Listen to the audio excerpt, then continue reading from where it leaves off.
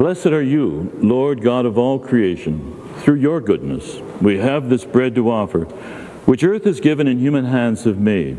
It will become for us the bread of life.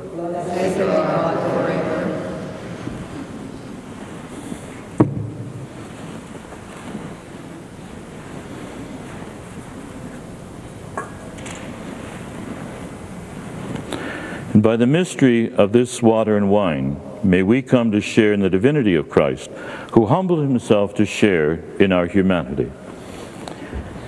And blessed are you, Lord God of all creation.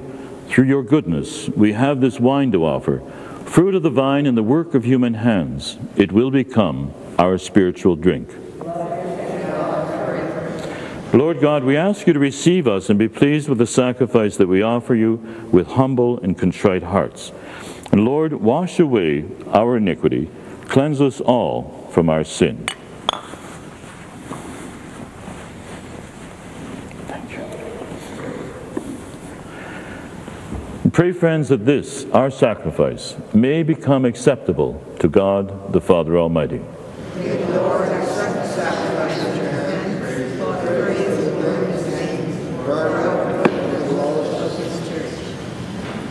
Lord, you have given us this memorial as the perfect form of worship.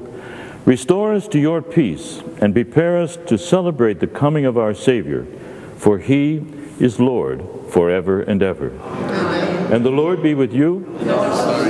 Lift up your hearts and let us give thanks to the Lord our God.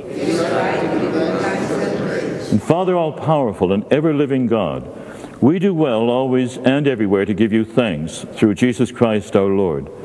His future coming was proclaimed by all the prophets. The Virgin Mother bore him in her womb with love beyond all telling. And John the Baptist was his herald and made him known when at last he came. In his love, Christ has filled us with joy as we prepare to celebrate his birth, so that when he comes, he may find us watching in prayer our hearts filled with wonder and praise. And so, with all the choirs of angels in heaven, we proclaim your glory and join in their unending hymn of praise. Holy, holy, holy Lord, God of power and might, heaven and earth are full of your glory.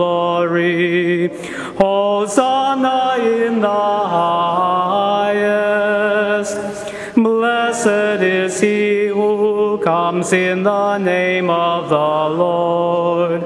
Hosanna in the highest.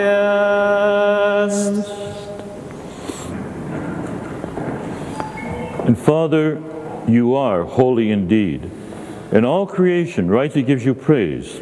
All life, all holiness comes from you through your Son, Jesus Christ our Lord, by the working of the Holy Spirit. From age to age, you gather a people to yourself, so that from east to west a perfect offering may be made to the glory of your name. And so, Father, we bring you these gifts. We ask you to make them holy by the power of your Spirit, that they may become the body and blood of your Son, our Lord Jesus Christ, at whose command we celebrate this Eucharist. On the night he was betrayed, he took bread and gave you thanks. He broke the bread, gave it to his disciples, and said, Take this, all of you, and eat it. This is my body, which will be given up for you.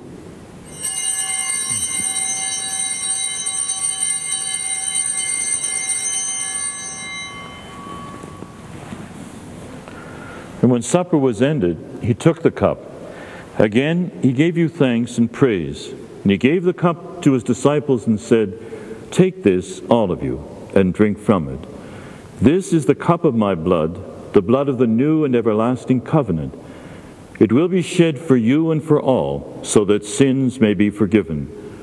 Do this in memory of me.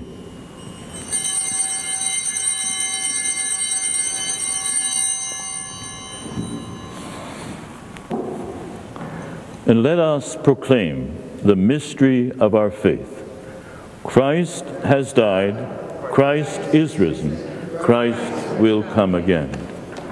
And Father, calling to mind the death your Son endured for our salvation, his glorious resurrection and ascension into heaven, and ready to greet him when he comes again, we offer you in thanksgiving this holy and living sacrifice.